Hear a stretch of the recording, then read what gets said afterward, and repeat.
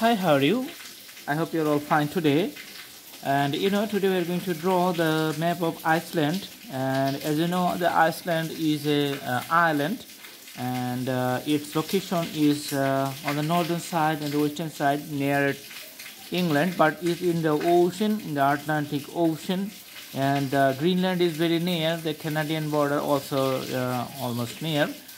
But uh, let's see. First we are going to draw the outlines of the borders. So this island has the sea or the ocean all around it. So it's like floating in the ocean a piece of land area. Okay so first we're going to draw the outlines then we're going to put the colors. And as you know the area or the shape of the map usually doesn't change unless there are special circumstances.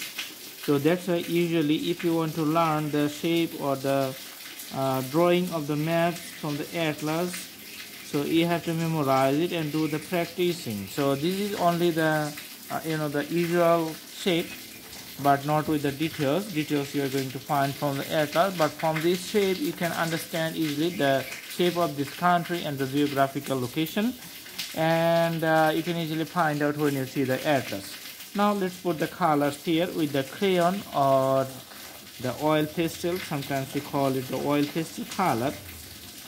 So the main reason to put the color is that just to uh, provide a clear outlook in this white canvas the borders and the map area of this country Iceland so you can easily understand and have a very nice visualizations.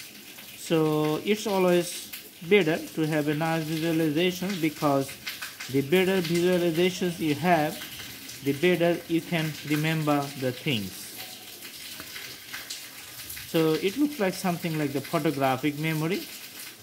Okay so the memory stored in the head or in the you know brain okay so it's the map and its total land area you can see here. On the top you can see it's called the Greenland Sea and on the south you can see it's the Atlantic Ocean.